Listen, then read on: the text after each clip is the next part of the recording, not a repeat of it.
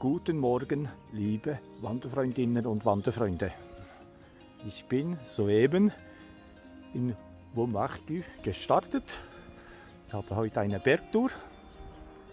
Geht zuerst rauf und dann wieder runter. Hier nach Womarky. Also einen Rundweg laufen. So, zuerst geht es jetzt richtig Schloss hoch. Ich habe schon ein sehr gutes Morgentraining. Hier diese lange Treppe hoch. Das ist noch ziemlich mühsam, muss noch so einen Zwischenschritt machen. Aber jetzt da oben das Schloss.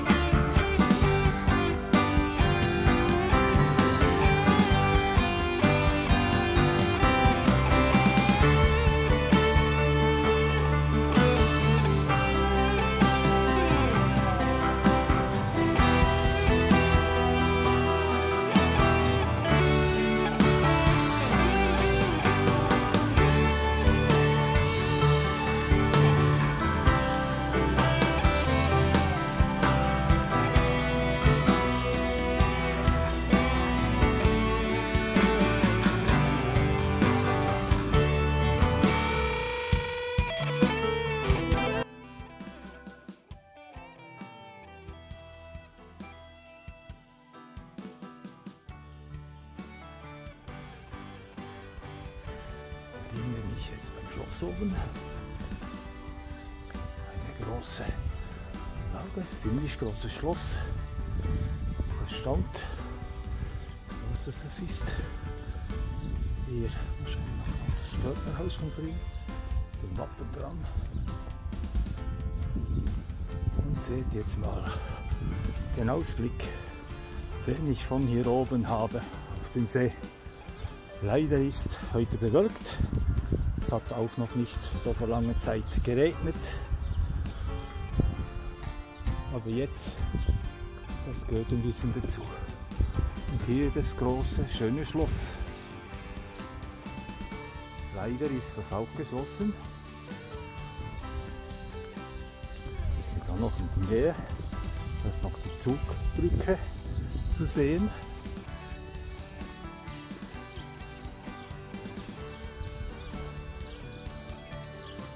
Kein Wassergraben mehr, der ist weg.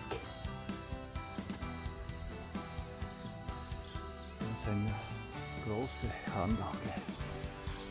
Schön da oben.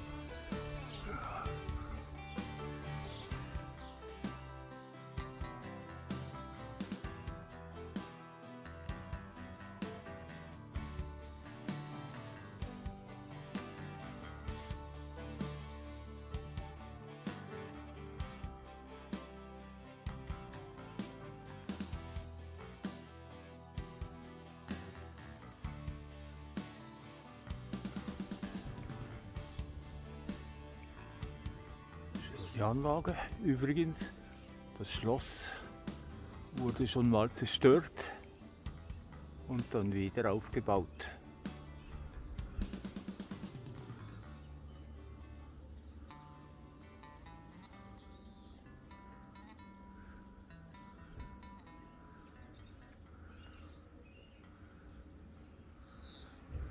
Jetzt noch mal einen Blick auf den Neuenburger See raus.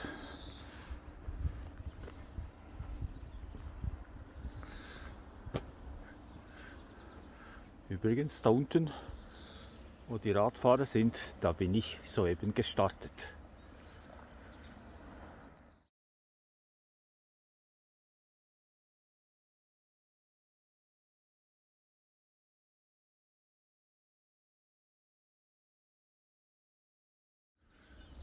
So, jetzt werde ich die Anlage wieder verlassen und werde mit meiner Wanderung weiterfahren.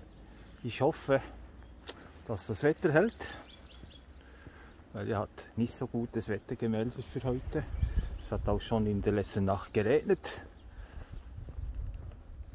Ich schaue einfach mal, was das heute bringt. Das ist ein schmuckes kleines Dorf, so mache ich.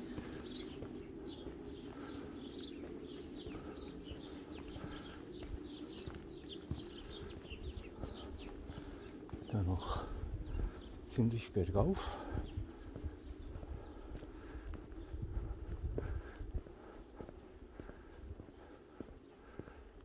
ist wirklich sehr klein das Dorf mit kleinen schmucken Häusern. Einen Blick auf Margü.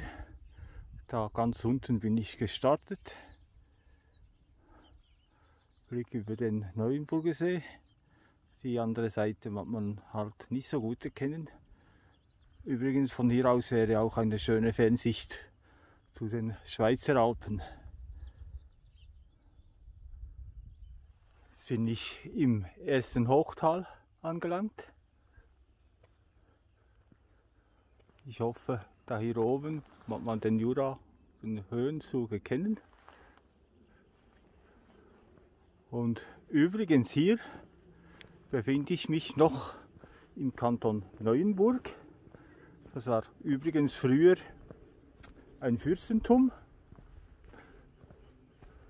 und ist relativ spät zur Schweiz gekommen. Und hier oben, an diesem Wald entlang da, oben geht die Kantonsgrenze zum Kanton Watt. Ich werde also hier schon bald wieder in den Kanton Watt reinkommen.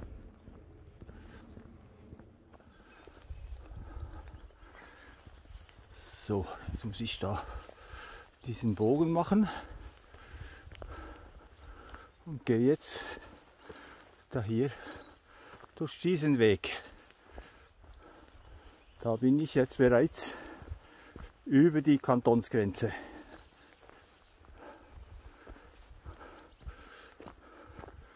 Hier nochmal ein Blick in den Kanton Neuenburg.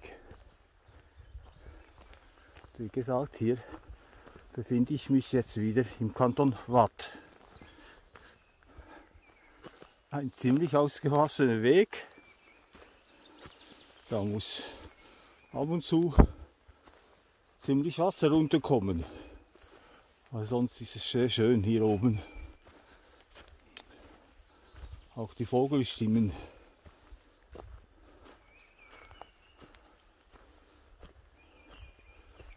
ganz schön. So in der Natur draußen zu sein.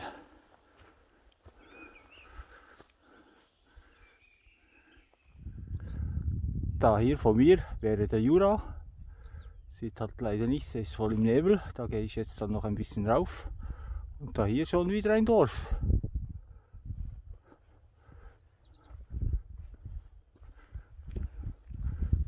Und da hier unten wäre der See. Leider sieht man von dem nichts. so stark im Dunst und Nebel. Schade.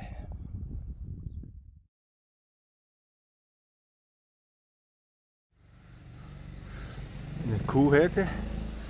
Ich bin ich wieder so in einem abgelegenen Dorf.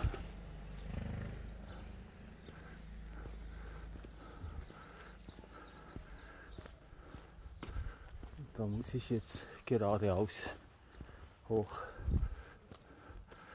Bin da übrigens auch schon aus 748 Meter.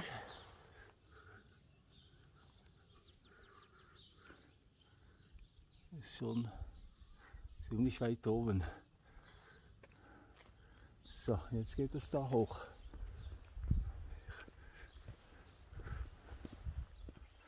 Jetzt habe ich schon ziemlich Höhe gewonnen. Da weit, weit, weit unten wäre der See. Leider, wie gesagt, sehe ich ihn heute nicht. Dafür ist es nicht so warm. Sehr angenehm zum da Wandern. Ich mich jetzt an der höchsten Stelle von meiner heutigen Wanderung. An dem Bach werde ich jetzt dann auch ein bisschen entlang gehen. Auf, glaube ich, 941, 42 Meter über Meer. So, ein kleines Rinnsal. Das ist so groß. So, jetzt geht's doch noch ein wenig rauf. Ich bin noch nicht ganz am höchsten Punkt angelangt. Aber schon fast. Geht nicht mehr weit. Da unten hat sogar noch ganz, ganz wenig Da Schnee. oben habe ich jetzt meinen höchsten Punkt erreicht von meiner Wanderung. Ich bin auf 900 61 Meter oben. Und normalerweise hätte ich jetzt da eine wunderbare Aussicht. Aber heute ist leider alles voll Nebel. Ich kann ja froh sein, dass es nicht regnet. Und hier noch den Jura hoch. Ich bin da jetzt schon ziemlich weit hochgekraxelt und da nochmal einen Blick nach unten.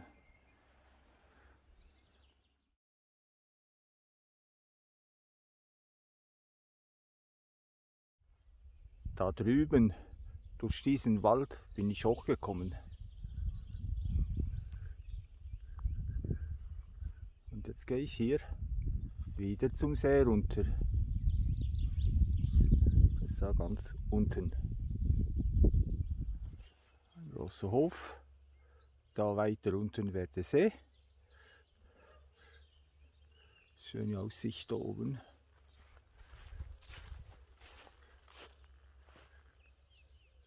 Da drüben dieser Wald, wo ich hochgestiegen bin.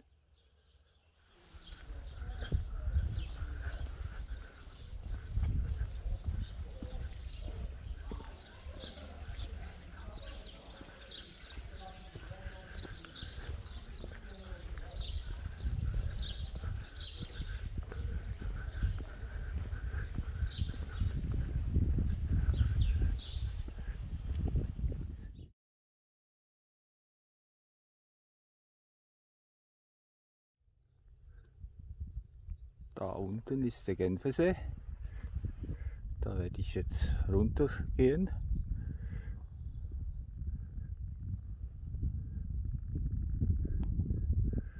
Da hier geradeaus bei diesem Dorf war ich auch schon. Dann bin ich da diesen Hügel hoch gewandert und jetzt durch dieses Tal da oben runtergekommen. Und da oben sieht man nochmal das Dorf Provence. Provence. Aber das in der Schweiz, nicht in Frankreich. Und hier wäre der Jura. Und da sieht man leider nichts. Übrigens befinde ich mich hier immer noch im Kanton Watt. Aber dann da unten kommt die Grenze. Ich zeige es euch dann wo. Da oben noch einmal Provence dieses Tal, da bin ich jetzt runtergekommen. Diesen Jurahügel bin ich hochgestiegen und hier befinde ich mich jetzt auf der Kantonsgrenze wieder Neuenburg, Wattland. Da befinde ich mich jetzt schon wieder im Kanton Watt.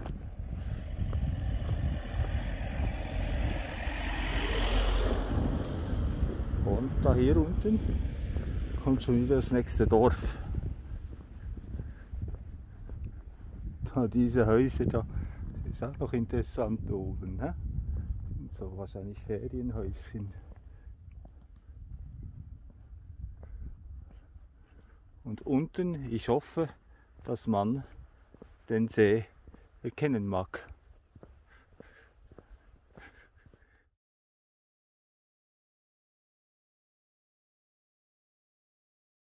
Mal einen Blick zurück.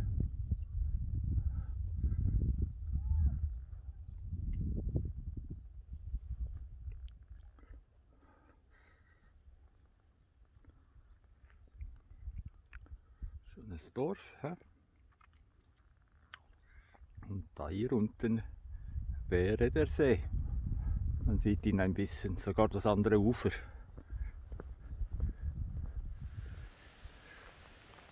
Jetzt habe ich einen interessanten Abstieg.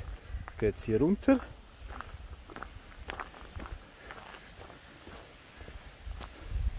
Jetzt fängt der Abstieg durch die kleine Schlucht an. Da muss man noch ein bisschen aufpassen. Es kann glatt sein. Und da unten diese riesigen Steine. Hm. Da noch eine schöne Brücke. So, jetzt geht es wieder weiter da runter. He? Treppe und ein bisschen glatt. Da wirklich ein bisschen aufpassen, wenn es runterfällt. Das ist einen steilen Abstieg.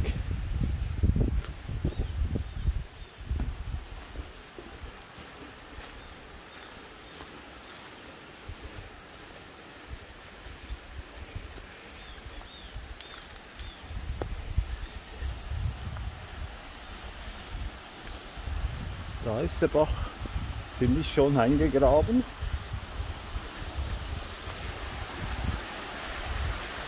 Das ist interessant da hoch. Und da geht es doch schon ziemlich weit runter. Gehe ich da hier in diesem Hang entlang.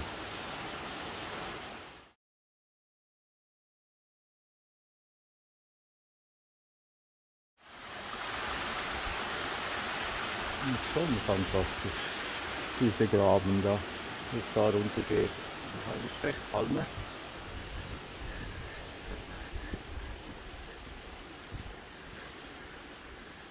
Steiler Graben da. Hm. Aber schön.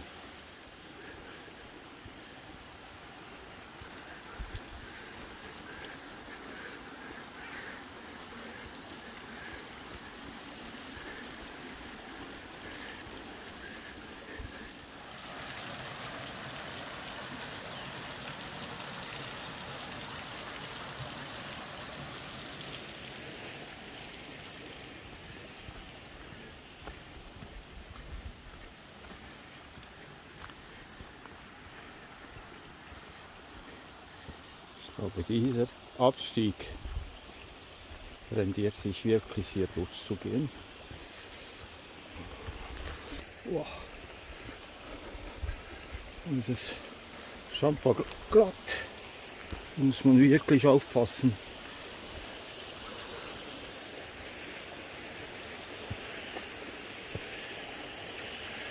Es hat noch erst geregnet.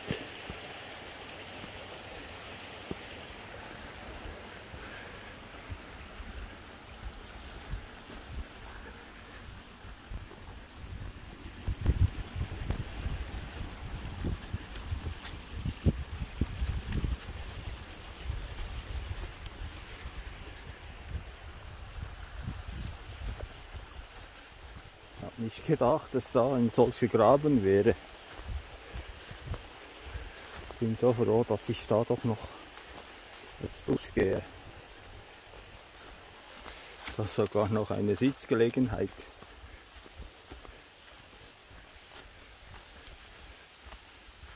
Da geht es ziemlich schon drunter. Da auch noch eine Sitzgelegenheit. Ziemlich wilde Landschaft da hier. Ha, schön. So, jetzt muss ich hier absteigen. Das da runter.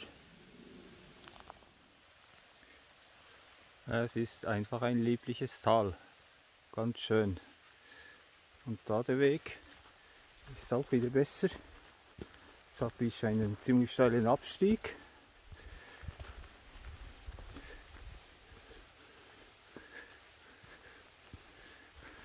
Geht der hier wieder auf.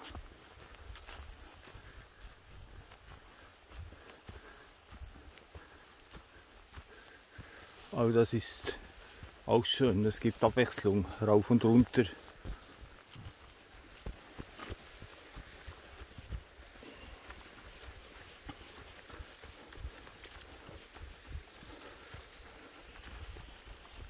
Da hinten sind noch Wasserfälle.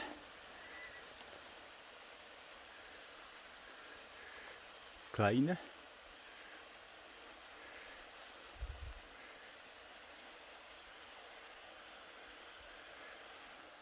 Und jetzt geht es da hier wieder weiter. Es wird immer interessanter. Da geht es jetzt wieder ziemlich steil runter und kann auch wieder glatt sein. Ist auch eine nasse Stelle. Da unten der Bach.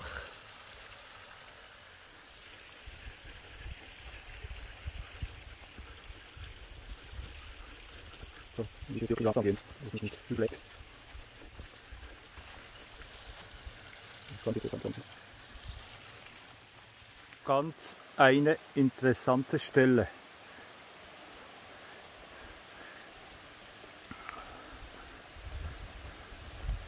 Kommt auch noch ein Bach raus.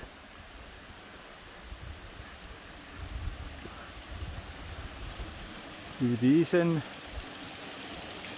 kleinen Wasserfall. Das ist doch schön. Das ist nicht groß, aber macht, ist wirklich ganz schön da. Und hier geht dann dieser Bach runter in den anderen.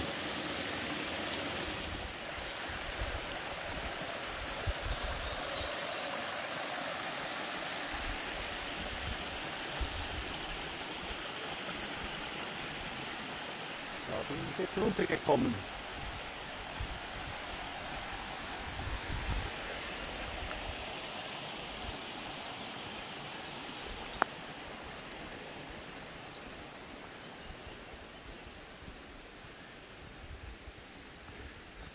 Da ist ein größerer Teil abgebrochen.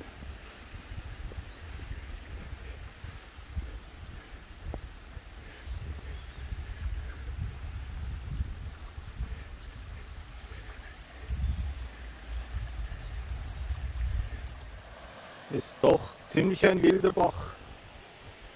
Ich liege da. Ganz eine wilde Gegend.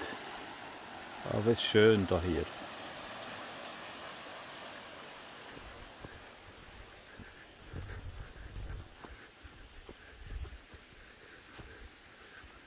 Da muss man einfach aufpassen. Ist der Weg ein bisschen glatt.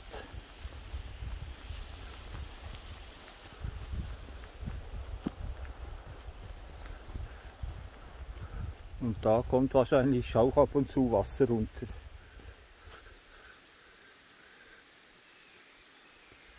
Momentan ist er trocken.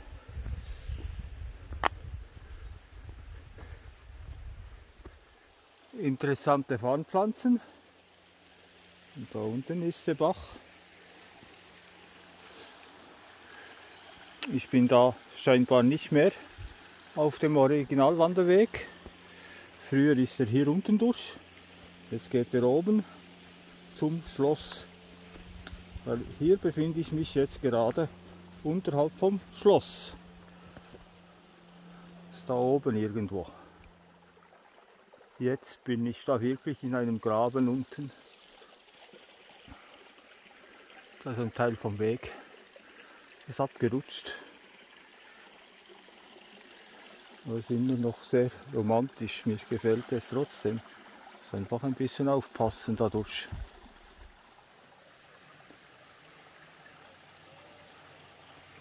So, da befinde ich mich jetzt wieder auf dem offiziellen Wanderweg und kann also dem entlang. Das ist neu angelegt worden und macht da hinten diese schwierige Passage. Kann man da umwandern. Soll doch immer drauf verlassen.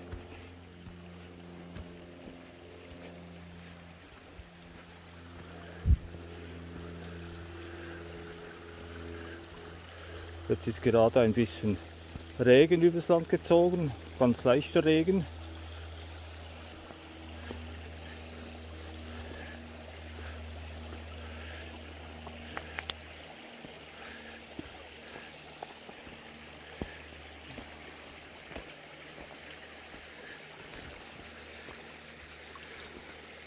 Jetzt ist so eine Passage, die ein bisschen schwierig ist. Dafür wird es hier wieder schön. He? So romantisch. Noch eine kleine Brücke. Da hier bin ich jetzt gerade gekommen.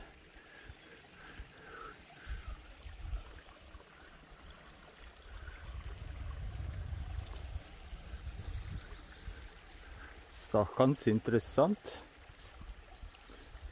wie da der Bach Bogen macht.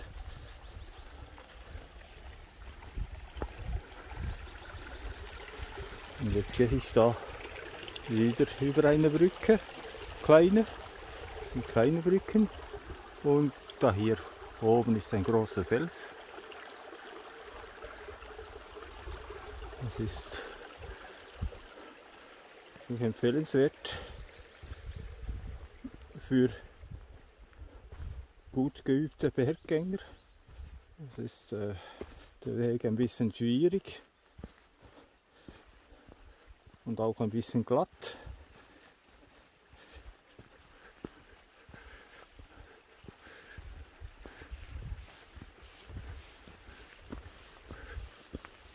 Wahrscheinlich wäre der Weg im Sommer besser zu machen, wenn es trocken ist und die Steine nicht so glatt sind.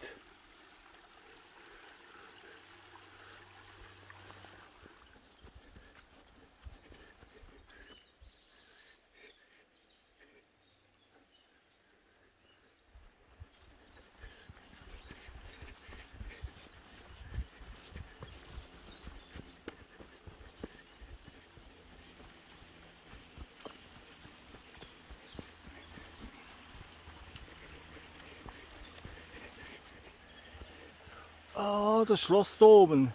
Da ist ja jetzt das Schloss. Ah.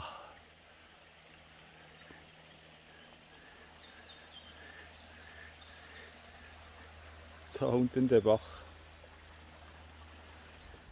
So, ich bin in Vormarkt wieder angekommen. Jetzt dann bei bei der Haltestelle schon wieder. Und habe jetzt dann schon bald wieder einen Bus nach Hause. Da vorne ist es doch äh, ziemlich warm.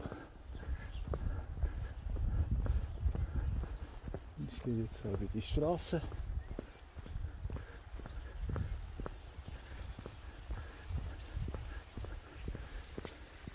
Und da hier vorne kommt nochmal der Bach, an dem ich jetzt entlang marschiert bin. Da unten ist er, das Rinnsal.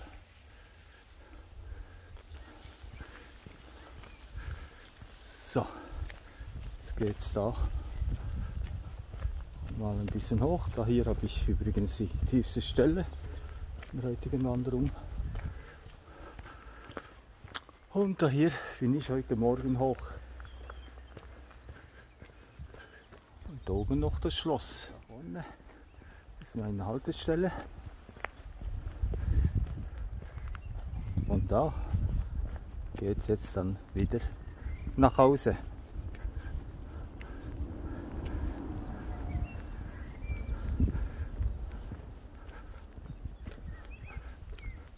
Nochmal einen letzten Blick zum Schloss hoch.